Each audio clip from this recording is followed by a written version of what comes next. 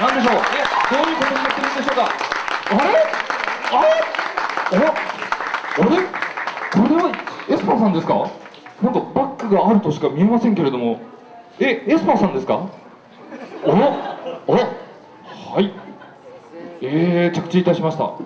えーと台車に乗って着地いたしました。はい。いやなんかまるでねなんかあの人を扱うという感じではございませんけれども。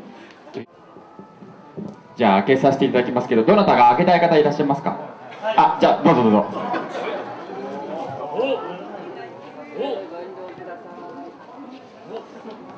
いいですか？開けてもらって。あのエスパーさんあんまりこれ5分以上入ってるとちょっとあの体に支障がきたしますんで。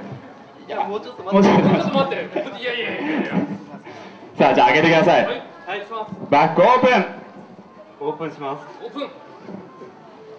おっと。おお斉藤。です。はい。